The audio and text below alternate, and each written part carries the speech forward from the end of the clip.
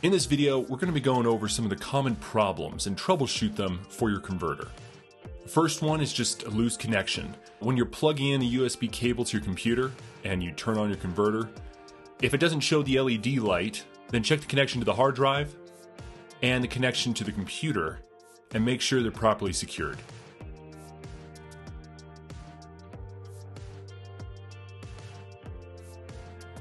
And you'll notice the LED finally turned on.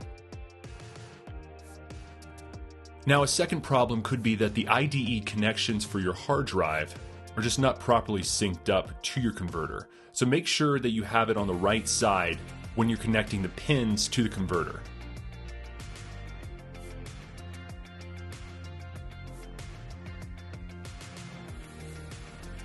A third potential problem could be because of a firewall on your computer. So when you're plugging in the USB cable to your computer and you turn on the power to your converter, if you don't notice the LED turning on, then let's jump over to your computer and make a few adjustments. On your Mac, just select the Apple icon and System Settings, then select Network, and then Firewall. Go ahead and turn off the firewall. And on Windows, go ahead and select the Windows icon, then Settings, then select Update and Security. Select Windows Security, and then select Virus and Threat Protection.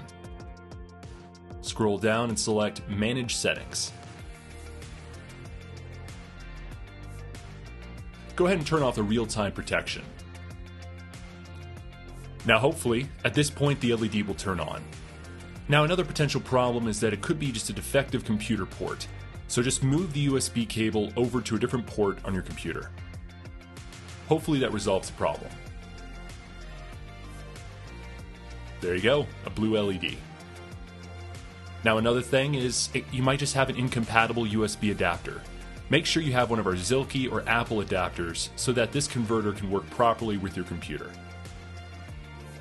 Off-brand adapters can cause connectivity issues and problems with data transfer. If you're using a third-party adapter with your Apple device and you're still having problems, please reach out to us for help. Thanks for watching.